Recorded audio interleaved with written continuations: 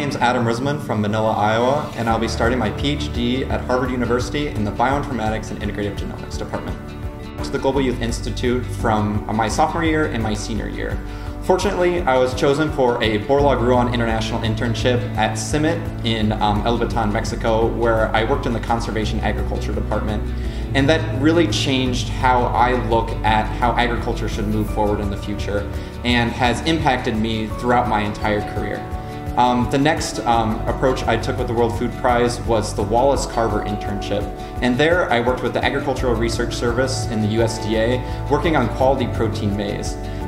In my opinion, the future of agriculture lies in the realm of big data. We have more and more um, need to understand how complex systems are working, be that plant health, be that the environment, or be that into natural cycles and how they impact our human lives.